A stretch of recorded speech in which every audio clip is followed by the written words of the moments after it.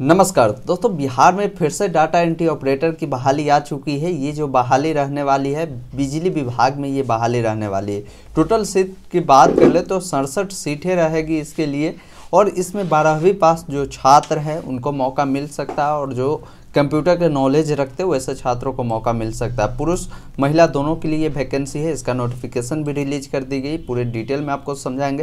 Video को आप अंत तक देखें। वीडियो पसंद आए तो लाइक शेयर करना मत भूलिए। साथ ही चैनल को सब्सक्राइब करिए ताकि जो भी इस तरह का अपडेट हो, सबसे पहले आपको मिल सके। ये जो बहाली है, विद्युत विभाग का जो सबसे अच्छी जॉब है, आप समझ लीजिए, north Bihar power distribution private limited company की ओर से ये बहाली निकाली गई है, जो कि प्रेषक आप देख सकते हैं, विनोद प्रसाद उप महाप्रबंधक जो कि कर्मी हैं इनके, उनके द्वारा ये विज्ञापन जारी किया गया। विज्ञापन का डेट देखिए छः तारीख को, यानी छः जनवरी 2022 को ये विज्ञापन जारी किया गया है।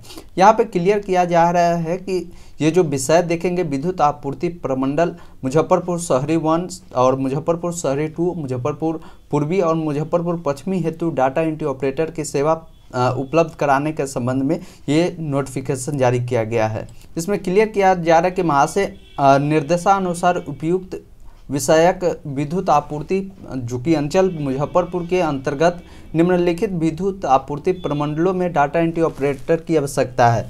जैसे यहाँ पे देखिए टोटल वैकेंसी हमने आपको पहले भी क्लियर किया कि सड़सठ वैकेंसी है। जैसे मुजफ्फरपुर शहरी के लिए इक्कीस है, मुजफ्फरपुर शहरी टू के लिए सोलह सीटें हैं और पूर्वी के लिए बारह है और पश्चिमी के लिए अठारह है। टोटल लेकर आपको सड़सठ सीटें रखी गई है। इसके लिए अनुरोध किया गया है कि जो भी डाटा एंट्री ऑपरेटर है, इसको उपलब्ध कराने की कृपा किया जाए।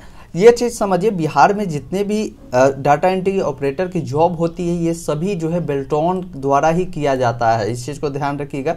तो ये जो बहाली है बेल्टॉन के माध्यम से लिया जाएगा, किसी अदर माध्यम से नहीं लिया जाएगा। अब देखिए बेल्टॉन कैसे इसमें बहाली लेगी, इसके लिए भी यहाँ पे क्लियर किया जा रहा है कि ये जो बहाली होगी, दो नंबर देखेंगे। संबंधित विद्युत कार्यपालक अभियंता विद्युत आपूर्ति प्रमंडलों को निर्देशित किया जाता है कि उनके अधीन स्थानीय व्यवस्था के तहत अल्पावधि अल्पावधि के लिए कार्य कर रहे सभी डाटा एंट्री ऑपरेटरों को बेल्टॉन की दक्षता परीक्षा में सम्मिलित होने हेतु निर्देश दिया जाए। यानी बेल्टॉन के माध्यम से जो छात्र एग्ज़ाम देंगे, उनको यहाँ पे बताया जा रहा है कि आप सम्मिलित कर सकते हैं। बिल्टॉन की दक्षता परीक्षा जो छात्र उत्तीर्ण कर चुके हैं। उनको यहाँ पे बताया जाए कि बिल्टॉन द्वारा भेजे जाने की स्थिति में उनकी सेवा लेने हेतु उन्हें प्राथमिकता दी जाए। जो छात्र बेल्टॉन के माध्यम से नए स्टूडेंट को जो एग्ज़ाम लेती है और उसमें से जो छात्र उत्तीर्ण कर लेते तो ऐसे छात्रों को यहाँ पे मौका मिल सकता है।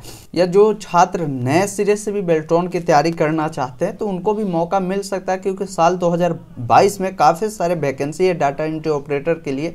तो इसमें जो छात्र ट्वेल्थ पास है और कंप्यूटर में एडीसी किए हुए हैं, जिनको टाइपिंग आता है, हिंदी, इंग्लिश तो उनको अच्छा जो है, मौका मिल सकता है। आप हिंदी, इंग्लिश के साथ साथ कंप्यूटर का नॉलेज रखिए M S word office excel ये जो भी पावर पॉइंट है, ये सारा आप नॉलेज रखिए, क्योंकि इसका जो फॉर्म है 2022 में आपको 100 परसेंट आएगा, वो इससे छात्रों को भी मौका मिलेगा। ये अर्जेंट बहाली है तो इसमें हो सकता है बेल्टोन के पास ऑलरेडी भी बहुत सारे छात्र का पैनल बना हुआ है, जिनका एग्ज़ाम भी निकला हुआ है तो वैसे छात्रों को यहाँ पर मौका दिया जा सकता है। ये बेल्टॉन के हाथ में किनको क्या करेगा, ये कहना मुश्किल है।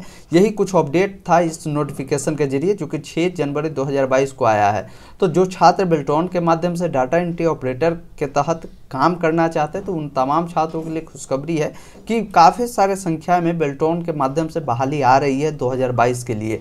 आप लोग भी तैयारी कर सकते हैं कंप्यूटर का अगर आपके पास सर्टिफिकेट है, नहीं है तो कंप्यूटर का नॉलेज लीजिए और टाइपिंग का प्रैक्टिस रखिए। ताकि जैसे ही इसका फॉर्म आए तो आप इसके लिए एलिजिबल हो सके फॉर्म भर सके। फॉर्म आएगा तो सबसे पहले हम अपने चैनल के माध्यम से आपको वीडियो प्रोवाइड करेंगे और आप हमारे official website online updates पे आकर यहाँ पे लेटेस्ट जॉब वाले सेक्शन में जो भी जॉब आएगा, यहाँ पे आपको अपडेट किया जाता है। तो लगातार आप हमारे वेबसाइट को भी आप विज़िट कर सकते हैं। जो भी अपडेट होता है, हम अपने वेबसाइट के माध्यम से प्रोवाइड करते हैं। वीडियो देखने के लिए बहुत बहुत धन्यवाद।